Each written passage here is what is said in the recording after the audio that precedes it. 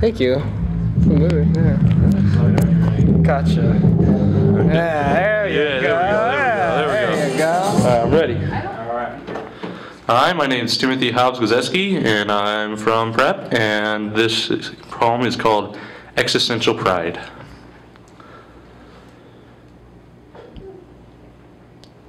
Enjoy life, because one day you're going to blink and be 60.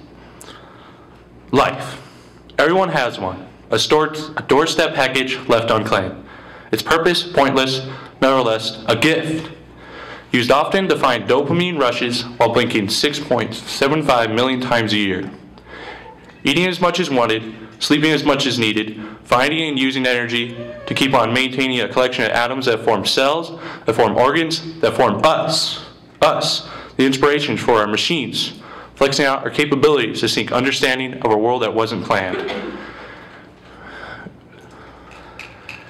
Existing here by cho- chance, going there by nature, rea- literally reacting to matter, affecting the computer codes that are our behaviors. Events that occur, the data is analyzed, conclusions made, leading to theories to help improve society.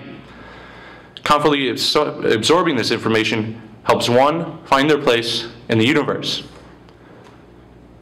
My life at 60, having blinked about 379 million times on this planet, in this solar system, in this Milky Way galaxy, would be glad, since I've been told 60 was about the time to think about the point of everything. The goal, I think people would agree, is to be happy. My happiness and my contentedness would be my wealth. Get paid by being close to fellow creatures, and I hope to entangle myself with especially one and produce even more critical thinkers.